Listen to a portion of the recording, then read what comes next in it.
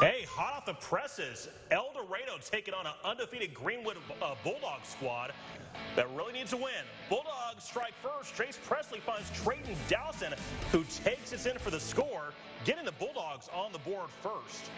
Later in the contest, this El Dorado team ain't going away yet, ladies and gentlemen.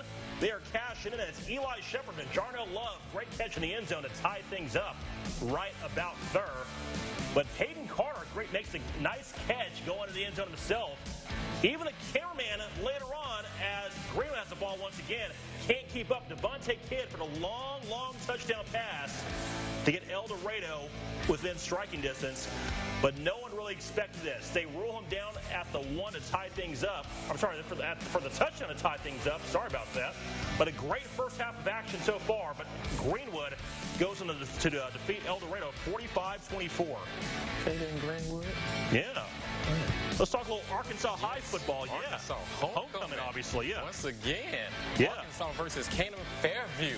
So, Camden Fairview, well, no, this year, Camden Fairview is actually going to take this thing around the edge, and he's actually going to roll over his defender for the touchdown. Way to go. Exactly. Getting things done. So, Arkansas couldn't do nothing. Next resume possession. Camden View is going to put this thing, guess what, in cruise control. In cruise control. And take it around the edge for the touchdown. Yeah. Arkansas is going to get it. They're finally going to get them a score in, and he's going to get that bad baby in. Arkansas is going to win this one over Camden View 27 to 26. What a close game. Yeah, man. Let's talk a little about uh, Junction City okay. as they take on McGehee. I'm sorry, McGehee versus Rison.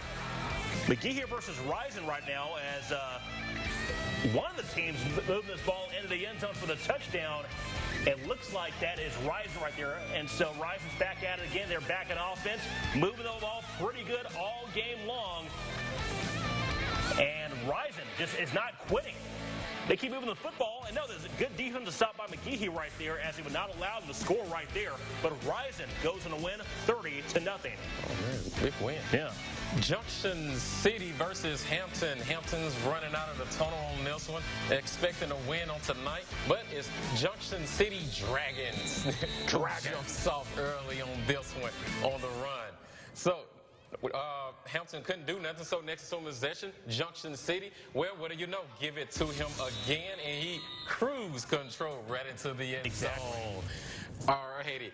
Junction City, once again, after Hampton couldn't do anything, and he's going to cruise. He's going to make a couple moves, and you know what I'm about to say on this. Cruise control. Right into the end zone. Junction City is going to win this one big, 64 to 6. Hutchinson to Jamal Johnson on that connection right there. Crossett Eagles at home this evening versus the Dumas Bobcats, coming off a huge win versus Warren Lumberjacks last week. First time they beat those guys in 29 years. It's Eagles homecoming tonight.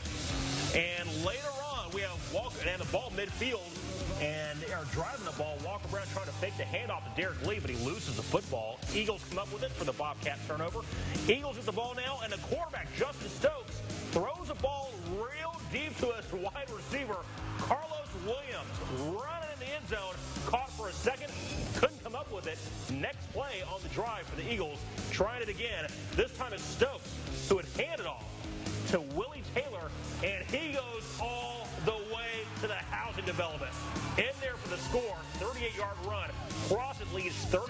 39 to 8 at the half. Wow. Eagles going to win the ball game 46 to 16. a lot of big games. All right, the, the strong Bulldogs are playing home against the where are we at? Fort Fordyce. Fort Ice. Red, Fordyce. Red Bugs. Oh, Red Bugs. Okay. So here on this drive, the quarterback Jaheim Brown is looking to throw and finds his number four, Caleb Jones, all by himself to make an easy touchdown, and they go up six to zero early.